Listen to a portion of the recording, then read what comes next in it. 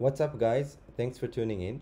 Today I want to show you a cool new feature we've implemented uh, which are data templates. So let's dive deep into it. So what are data templates? So if we sign in first, we have here our new dashboard and data templates, you can see we have it in the bottom below our data scans. And we have app templates and my templates.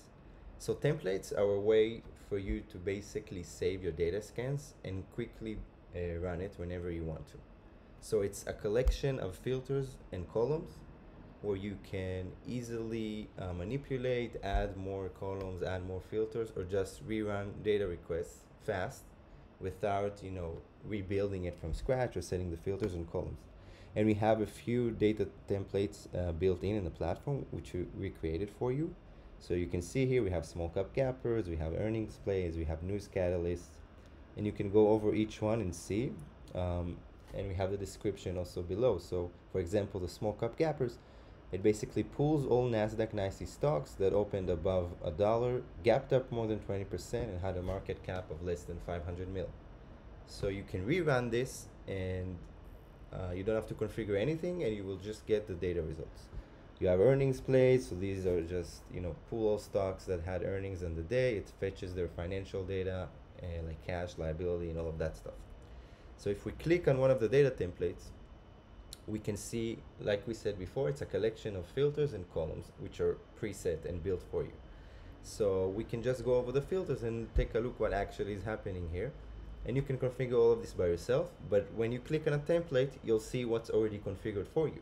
So we have a filter for security class, so it says, uh, you know, give me all the stocks only and the ADRs. Uh, we have a filter for exchange, so it will pull only listed stocks from NASDAQ and NYSE. We also have a open filter price, uh, so it will fetch stocks that had an open price greater than one dollar. Uh, here's a market cap filter, so we have market cap less than 500 million, and then we have the gap percent filter, so it says give me all stocks that gapped up more than 20%.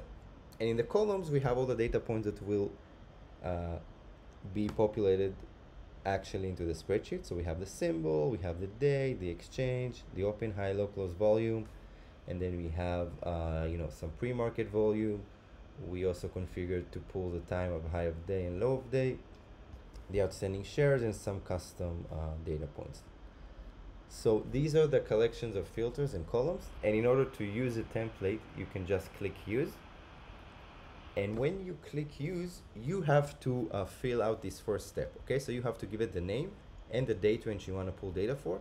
And the rest of the steps the filters the columns and everything will be just pre-populated for you where you can just rerun it.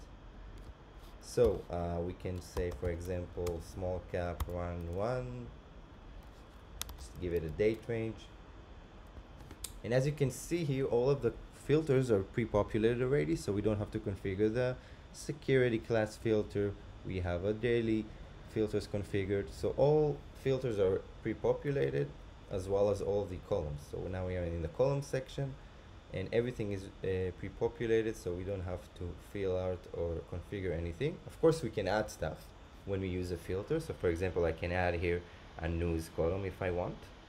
Uh, for now we won't add it but the possibility is there. So you can click review and you just run the data.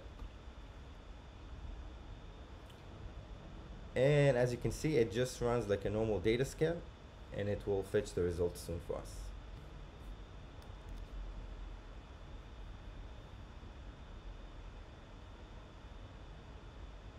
okay so we refreshed quickly and we see it completed in like 10 13 seconds. Um, and if we open it we'll see it's just a normal uh,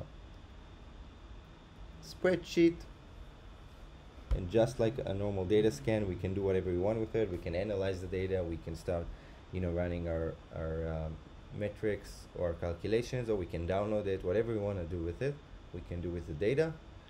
Uh, and it's very quick and very straightforward so again just to recap we have app templates which are built in for you and they're created by us or we have uh, an option for you to add your own templates.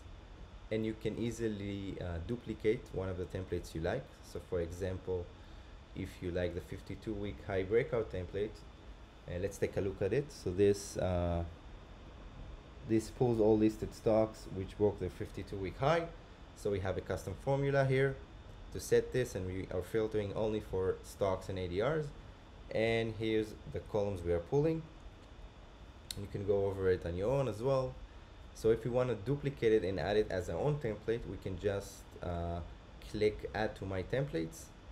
Then we can go to here to my templates and we see it duplicated here. So we can easily duplicate templates.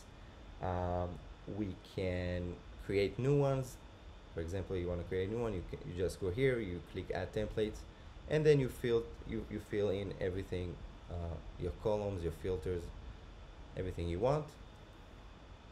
And it's very useful like I said so if you have some kind of data scan that runs a lot and you just need to change to change the symbol ticker you can rerun the template and just uh, change the ticker.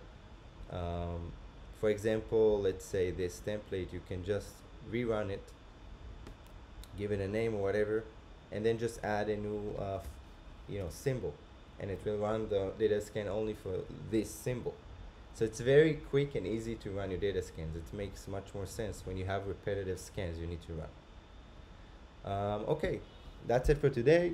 Thanks for tuning in. We hope you like this new feature.